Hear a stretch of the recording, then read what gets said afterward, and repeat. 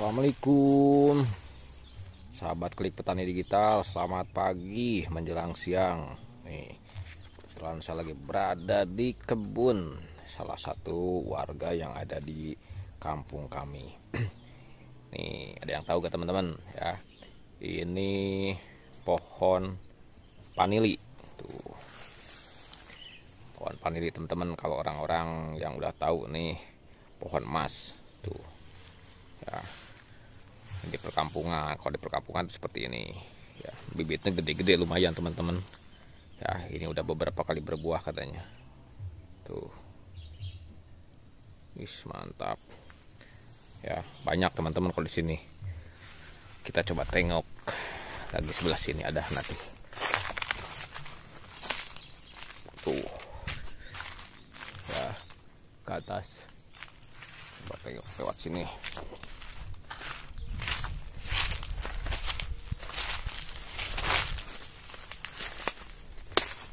nih tuh banyak banget teman-teman. Pohon paneli ini usianya udah udah ada tahunan lah ya. Tuh. Sampai ke atas merambat. Tuh.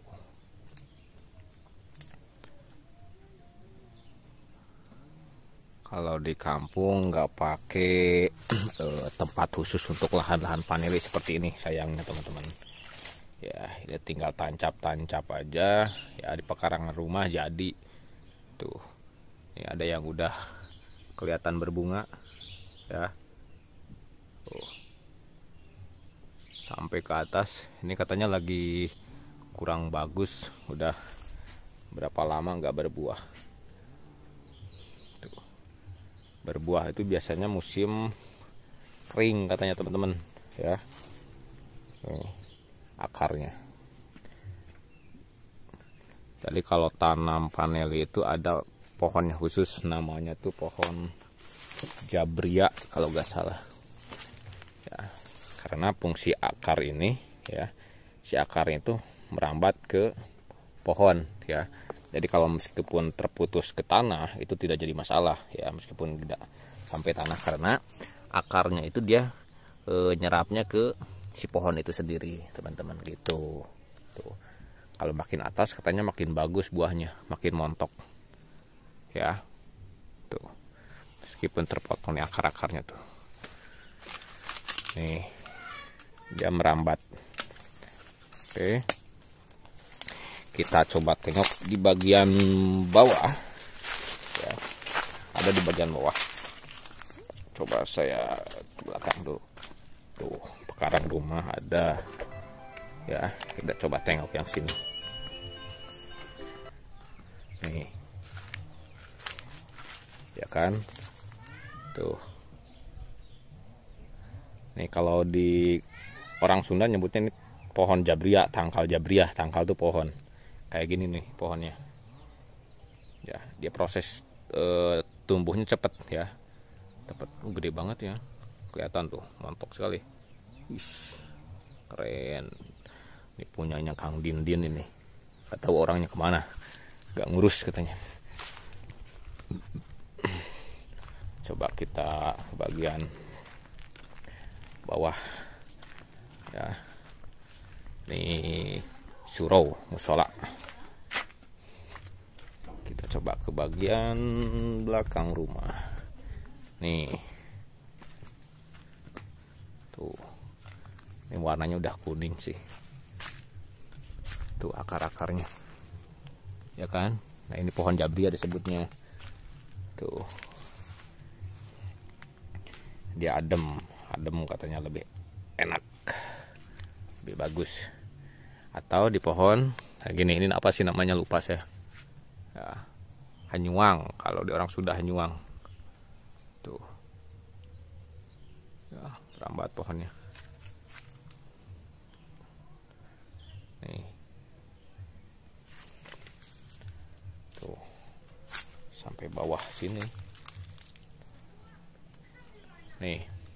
Ini pohon ini katanya dulu pas lagi nanam saat masih kecil ini sudah segini. Ya, saking lamanya berarti ini tumbuhan vanili di sini. Ya panennya lumayan lah katanya kata si Abah. Udah menghasilkan sampai ke atas tuh. Ngawinin tuh harus ke atas. Dipakai tangga. Ini tangga. Jadi kalau makin ke atas tuh makin bagus katanya. Ke bawah. Jadi ini sejarahnya nih. Pas pertama lagi kecil sebenarnya segede ini kali ya, ya segede ini pohonnya. Sekarang udah sampai gede gitu. Berarti udah lama nih panelnya saya kebetulan lagi berguru nanti. Ya sayang nih kalau nggak diterusin tuh soalnya tumbuhan panel itu kan wih tahu sendirilah ya harganya. Lumayan sob. Tuh. Cuman sayang nih si abahnya nggak ada. Kalau ada saya tanya-tanya nanti. Tuh.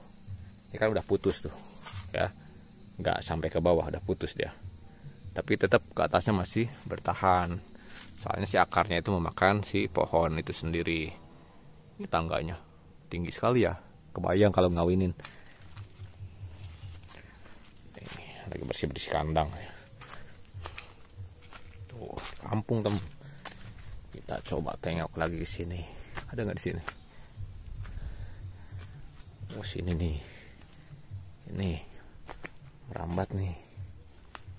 Nih. Wih, ini buah apa? Oh bukan, ini bukan buah paneli. Nih, akar-akarnya. Tuh. Sip. Nih, merambat nih sini. Tuh. Tuh. Banyak sob kalau di sini. Di mana, Bah? Nih, si Abah ada lagi makan. Katanya di belakang kandang banyak nih. Coba kita masuk sini. Bismillahirrahmanirrahim. Ih, bener banyak tuh. Ya kan? Nih. Belakang kandang. Mantap. Nih, harus saya kelola nih ya harus kita urus harus diterusin tuh oh masya allah ini uang semua nih tem. Ya. Tuh. Lambat. Is. ada mbe. Halo. Is. kan? Tuh. Banyak nih. Nih kita tengok lagi sini. Ya. Ya Allah luar biasa. Ini uang semua teman-teman. Ya. Kalau dikelola ya ini benar-benar uang. Makanya orang-orang nggak salah kalau ini tuh pohon emas. Emang kalau sekali panen kalau kering itu harganya bisa ratusan ribu bahkan jutaan rupiah. Ya basah aja udah mahal. Apalagi kalau kering teman-teman ya. Tuh sampai sana ada atau udah ke bawah Ya Allah nih tuh itu kalau enaknya hidup di kampung tuh kayak gini. Ya ada pohon langsung ditancepin. Ya bener ini hebat. Ya, memanfaatkan lahan-lahan yang ada pekarangan yang ada pohon-pohon yang ada teman-teman. Ya tuh. Oh.